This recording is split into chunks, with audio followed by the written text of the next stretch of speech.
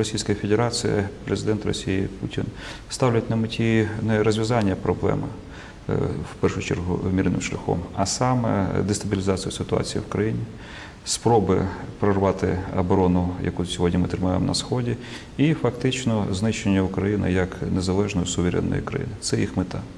І саме тому, коли е, вони побачили, що більше аргументації нема е, щодо тих е, позицій, які готувалися для переговорів в Астані, в тому числі за участі європейських лідерів, е, вони е, дали відмашку на активізацію спочатку.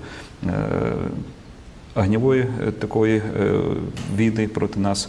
Ну і після Радбезу, який пройшов у Москві е, з- під головуванням Путіна, вони розпочали фактично наступальні операції, про які ми в принципі і попереджали, розуміли. І ми сьогодні бачимо, що фактично в щоденному режимі відбуваються активні спроби в різних місцях проривати.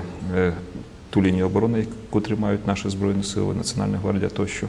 І коли е, вони не можуть це зробити, е, то і такі страшні злочини, як е, відбулось в Маріуполі, коли, не маючи можливості прорвати оборону, вони просто обстріляли мирне місто і загинули ні в чому не винні цивільні люди. Місто безумовно надійно укріплено з оболоні сходу, де постійно відбувалися спроби прориву. І жодна ця спроба е, не е, отримала якийсь позитивний для ворога результат. Більше того, вони несли достатньо серйозні втрати. І е, єдина проблема, розумієте, коли вони йдуть на такий формат, який в всьому цивілізованому світі називається злочин проти людства. Коли систему залпового вогню вони обстрілюють мирне місце для того, щоб посіяти паніку, посіяти страх і таким чином спробувати вже психологічно е, шляхом тиску на населення е, спробувати зламати оборону. Ви знаєте, превеликий жаль, е, Росія використовує проти нас е, сучасні е, засоби ведення вогню, в тому числі і системи залпового вогню, в тому числі і безумовно е, найбільш потужні. Це не тільки е, град, це і ураган, про який говорив 220 мм, це і більш потужна смерч, е, торнадо, в тому числі такі варварські системи е, ведення вогню, як е, Буратіна, тобто дуже така дитяча назва, але ж дуже страшні результати, коли вся територія просто е, знищується вогнем.